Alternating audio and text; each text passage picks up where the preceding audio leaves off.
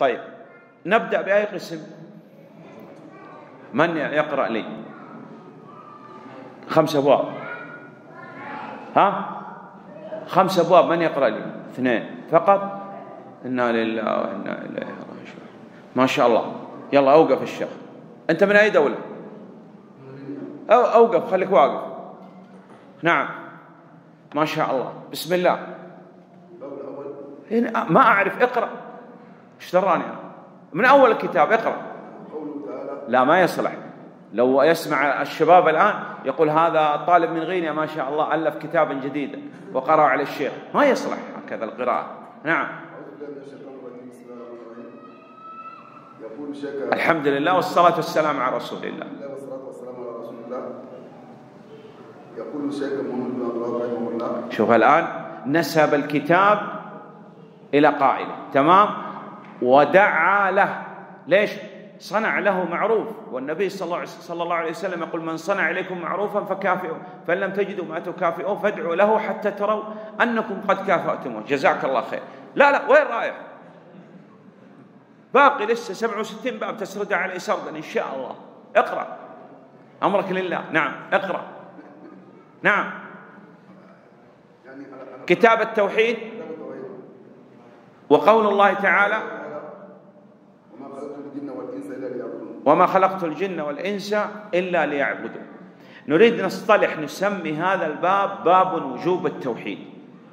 لماذا؟ لأن التوحيد أوجب الواجبات وأول الواجبات ودعوة الأنبياء والرسل عليهم الصلاة والسلام. ولقد بعثنا في كل أمة رسولا. ما هذا البعث؟ قال أن اعبدوا الله أي وحدوا الله. واجتنبوا ابتعدوا غاية البعد عن الطاغوت. الطاغوت ما تجاوز بالعبد حده من معبود أو متبوع أو مطاع. تمام. إذا هذا الباب أراد المؤلف به إيش؟ يبين أن التوحيد أوجب الواجبات ولهذا أردنا أصطلحنا أن نسميه باب وجوب التوحيد. مفهوم؟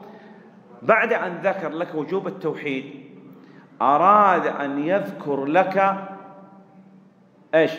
فضل التوحيد. لماذا؟ اترك الكتاب الشيخ حتى تشتاق يشوقك لدراسة التوحيد. مفهوم؟ أي نعم. لو قال قائل طيب هل معنى هذا أن محمد بن عبد الوهاب رحمه الله يرى أن التوحيد ليس بواجب؟ نقول لا هو قدم أي باب؟ باب وجوب التوحيد. وثنى بفضل التوحيد حتى تشتاق من سعة فضل الله سبحانه وتعالى أنه يوجب الشيء ويعطي عليه الأجور الكثيرة. وقال وما تقرب إلي عبدي بشيء أحب إلي مما افترضت عليه. مفهوم؟ نعم. من صام رمضان إيمانا واحتسابا. لا أحد يقول أن صيام رمضان ليس بفرض صح؟ أي نعم. إذا ذكر فضل الشيء لا يعني أن الشيء ليس بواجب. فضل التوحيد حتى تشتاق.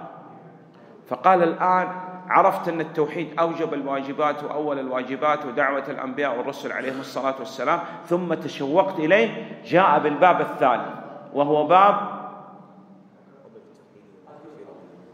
الباب الثالث. تحقيق التوحيد. أراد منك أن تحقق التوحيد. تحقق التوحيد بالقلب بالقول والعمل والاعتقاد. تحقق التوحيد تنقح التوحيد. تخلص التوحيد من الشرك الأكبر والأصغر والكبائر والذنوب والبدع.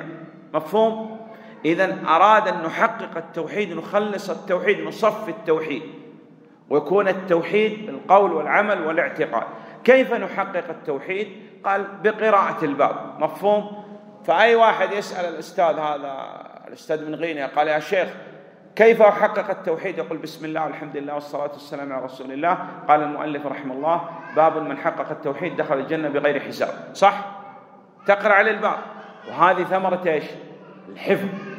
احفظ فكل حافظ إمام. قال أخ كيف أخاف من الشرك؟ قال قال المؤلف رحمه الله تعالى باب الخوف من الشرك. وقول الله تعالى إن الله لا يغفر أن يشرك به. مفهوم؟ الصبر. يقول باب من الإيمان بالله الصبر على أقدار الله. وقول الله تعالى ومن يؤمن بالله يهدي قلبه. قال علقمة رحمه الله والرجل تصيب المصيبة وهكذا. مفهوم؟ مهم حفظ كتاب التوحيد. تمام. إذا لابد أن نحقق التوحيد بالاقتداء بالنبي صلى الله عليه وسلم الاقتداء بإبراهيم عليه الصلاة والسلام. إن إبراهيم عليه الصلاة والسلام كان أمة أمة يعني إيش؟ إماما يقتدى به.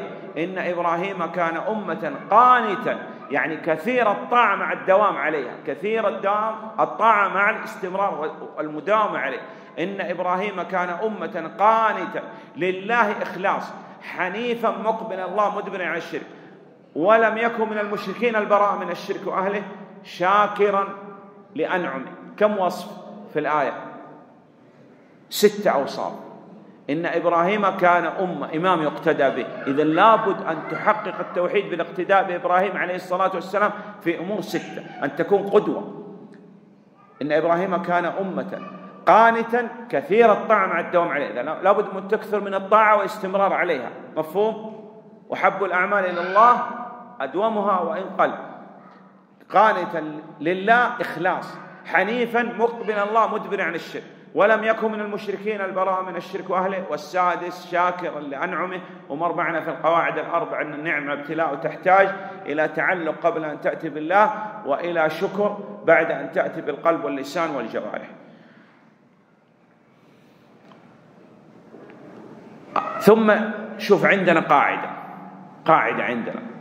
هنا. كل باب بعد تحقيق التوحيد هو من تحقيق التوحيد. مفهوم؟ خلاص مفهوم؟ بعد تحقيق التوحيد الخوف من ضد. فالمحقق حقا للتوحيد لابد يخاف من الشرك.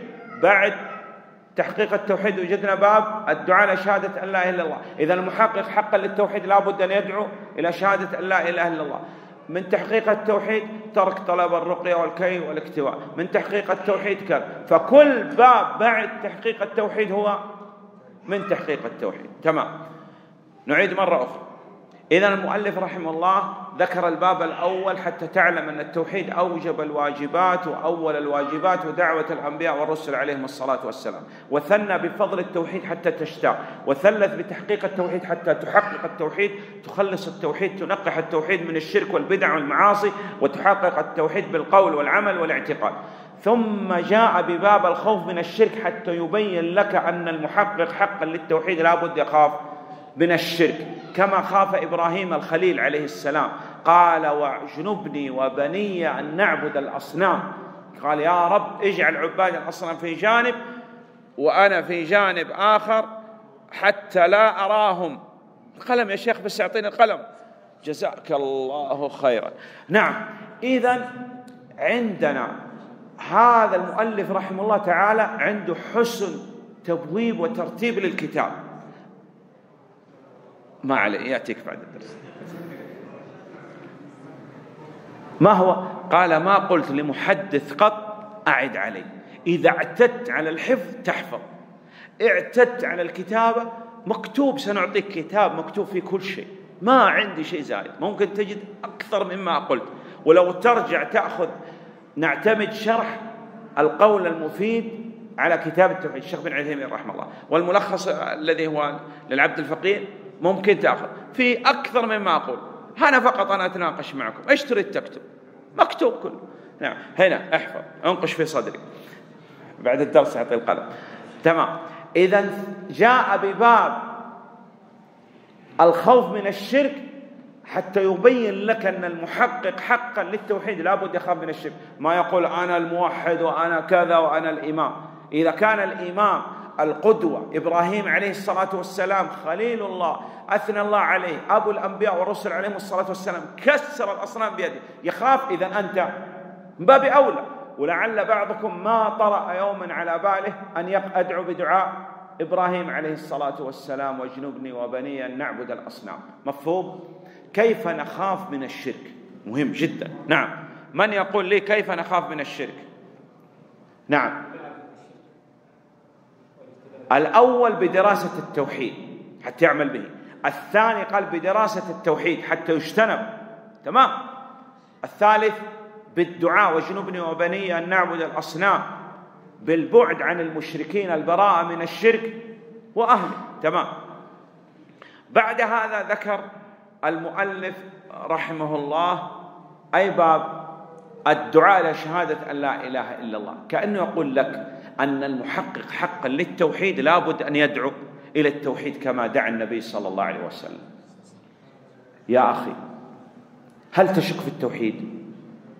والله لا يمكن أن نشك في التوحيد طرفة عين. تعرف طرفة عين؟ والله لا يمكن أن تشك في التوحيد.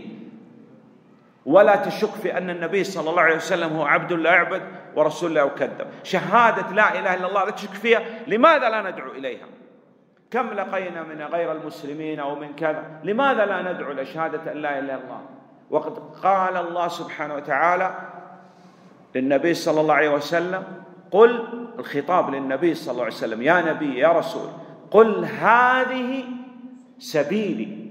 يعني الطريق الموصل إلى الله طريق واحد هو طريق النبي صلى الله عليه وسلم ما كان عليه الصحابة والسلف الصالح رضوان الله عليهم. قل هذه سبيلي. أدعو إلى الله. هذا الشرط الأول من شروط الدعوة الإخلاص. أدعو إلى الله على بصيرة هذا الشرط الإيش؟ الثاني والثالث والرابع. في على بصيرة. كم شرط؟ ثلاث شروط. مفهوم؟ على بصيرة علم شرعي. على بصيرة الحكمة. أدعو إلى سبيل ربك بالحكمة والموعظة الحسنة والحكمة. هي طريقة النبي صلى الله عليه وسلم. والبصيرة معرفة حال المدعو إنك تأتي قوما من أهل الكتاب يهود نصارى عندهم كتب عندهم توراة عندهم إنجيل عندهم حجج عندهم براهين. ناظرهم؟ قال ناظرهم. قال ناقشهم. قال بين ما هم عليه من أخطاء؟ لا. إذن الطريق الطريقة الصحيحة لدعوة اليهود والنصارى أي كائن من كان إيش؟ أن يوحدوا الله. وفي رواية ادعهم إلى شهادة أن لا إله. هذه أحسن طريقة. نقاش. هذا مو عملك. مفهوم؟ هذا الشرط الكام؟ الرابع. الخامس الصبر. مفهوم؟ تمام. الإخلاص الشرط الأول. والعلم الشرعي ومعرفة حال المدعو والحكمة والصبر. والعصر إن الإنسان لفي خسر إلا الذين آمنوا وعملوا الصالحات وتواصوا بالحق وتواصوا بالصبر. شروط دعوة خمسة. وقسم الناس في الدعوة إلى الله إلى طرفين وسط. قسم لا يدعو إلى الله أبدا. وقسم يدعو على جهل. وقسم يتوسط. لا يدعو إلا فيما يثق فيه مئة بالمئة. معروف مئة بالمئة؟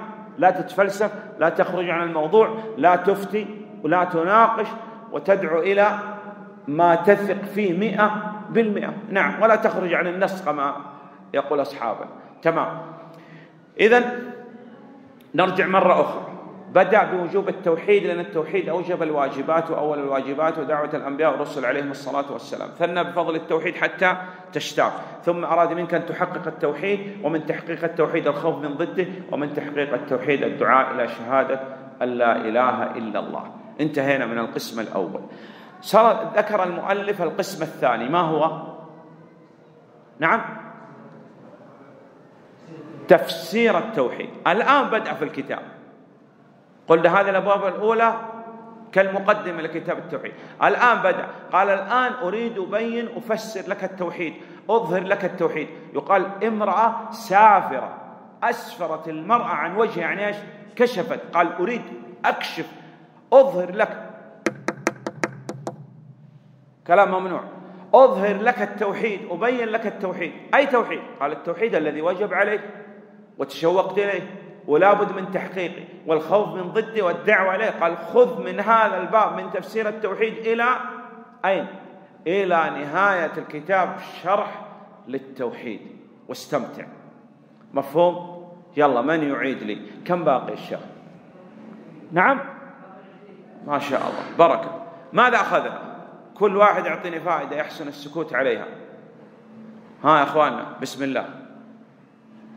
نعم. أنت ما غيرك نعم. أوقف. أي فائدة أخذناها في, في الآن؟ فائدة واحدة. نعم. أهمية التوحيد. تمام. اجلس. غيره ها. الموحد لا يقتر بنفسه. الموحد لابد يخاف من الشرك. كما خا إن كان هذا الخليل عليه السلام خاف على نفسه إذا أنت من باب أولى. ها بشيل الدفتر إن شاء الله. قوم. نعم. فائدة فائدتين فائدة مختصة بشخصية المؤلف. نعم ما هي؟ وهو أنه آه، عنده عقلية البخاري. نعم نقول هذا بخاري هذا الزمن. ويظهر الفقه الإمام البخاري في أين؟ في الترجمة. وظهر هنا عندنا عند الشيخ محمد بن عبد الوهاب رحمه الله تعالى. وقلنا هذا الكتاب كالقطعة من صحيح الإمام البخاري. غيره. نعم الشيخ. نعم. دعاء إيش؟ نعم. يقول دعاء إبراهيم لابد أن ندعو به عليه الصلاة والسلام كما دعا تخاف على نفسك وتدعو كما دعا إبراهيم عليه الصلاة والسلام. سبب العداوة لا هو التوحيد. وأنتم يا طلاب الجامعة الآن قبل أن تأتوا إلى المملكة العربية السعودية صحيح؟ كنت تسمع الوهابية وكفار الوه... صح ولا لا؟ أو تسمع وتسمع.